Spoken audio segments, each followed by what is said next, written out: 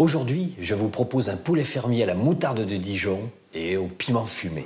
Pour cette recette, vous avez besoin de la moutarde de Dijon, un poulet fermier de préférence, du piment fumé, de la chapelure, un yaourt ou un fromage blanc, du jus de citron, du poivre et du sel. L'élément important de cette recette, c'est la moutarde. Mais la moutarde de Dijon.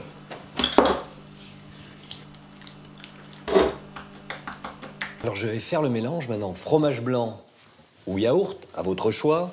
Je vais ajouter le jus de citron.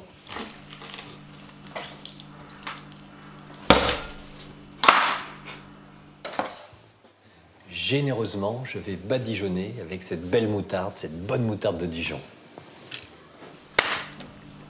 À défaut de pinceau, vous pouvez aussi le réaliser avec le dos, par exemple, d'une cuillère.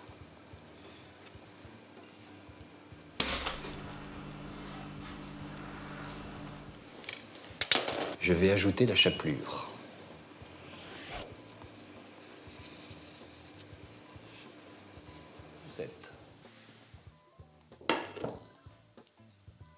On va poser délicatement pour pas se brûler dans ce sens-là. Ma préparation est terminée. Je vais glisser 20 minutes au four préchauffé à 180 degrés.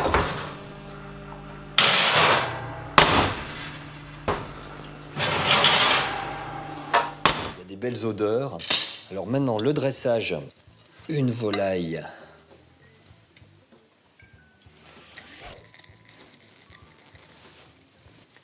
Ma recette est maintenant terminée. Volaille fermière à la moutarde de Dijon et au piment fumé.